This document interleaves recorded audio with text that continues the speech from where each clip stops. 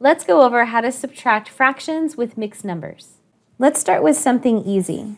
If I have 2 and I want to subtract a half, how do we do that? So this 2 minus a half, well, you can't take a half from nothing. So what I'm going to do is I'm going to borrow 1, and then the denominator is a 2. So I'm going to put a 2 over 2. That's where the 1 went that I borrowed. Now we have more than enough. We have 2 over 2 minus 1 over 2, so that's 1 half, and then we have a 1. And you know that if you have 2 of something, and then somebody borrows a half of 1, how much do you have left? You have 1 whole and a half, and that's what we have here. Okay, so let's do one that's a little bit more challenging. Suppose I have a number like 3 and a third minus 2 thirds. Okay. So the first thing we want to do is make sure the denominators match, and they do. Okay, so we're going to put 3 and a third here minus 2 thirds. Okay, so we're going to have to borrow because I can't take 2 thirds from 1 third. That just doesn't work. So just like when we borrow with whole numbers, I'm going to take 2, but then how we add that 1 here is we say whatever the denominator is, we have the same number top and bottom, okay, because this is a form of 1. All right, so I'm going to rewrite this problem. I'll write it over here. So this is the whole number 2. 3 plus 1 is 4, and the denominator is thirds. So this is this top line right there. Minus 2 thirds. Do you see now it's in a form that is easier for me to take a look at? Yeah, for me to work with.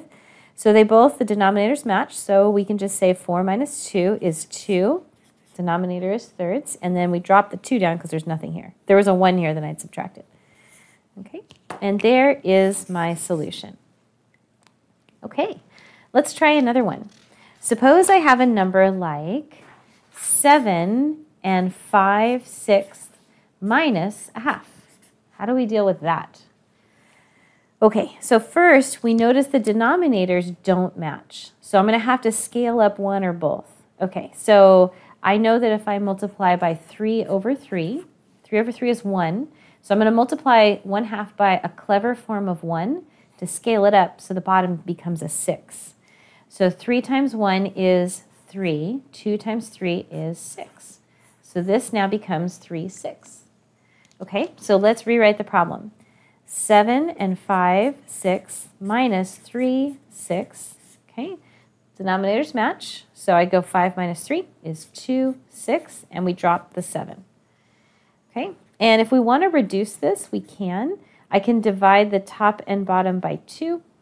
I get 7 and 1 third is my final answer.